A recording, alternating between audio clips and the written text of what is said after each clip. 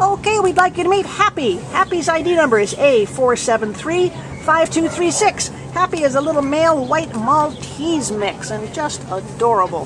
He's had a little bit of grooming, so he looks better than when he came in, but he could probably use a little bit more. He's so handsome.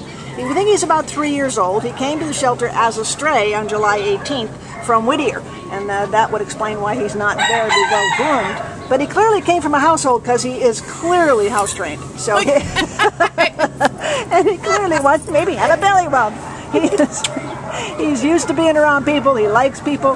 He likes other dogs, but he seems to want to be the top dog. So he, he probably, with proper introduction, I'm sure he'd do fine with just about any household. He's pretty good on a leash. Uh, you know, he could probably use some individual training, but he's just a sweetheart. Look at that big licorice drop nose. He is so handsome and such a sweetie pie. He's doing pretty well. What do you think?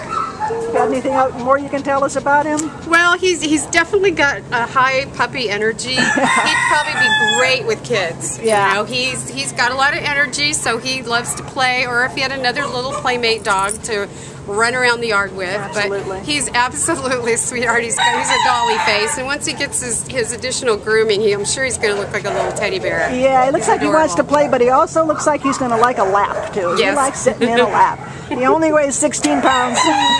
Make a kitty face. So if this looks like a little guy you could have fun with, please come down to the Baldwin Park Shelter and meet Happy Dog.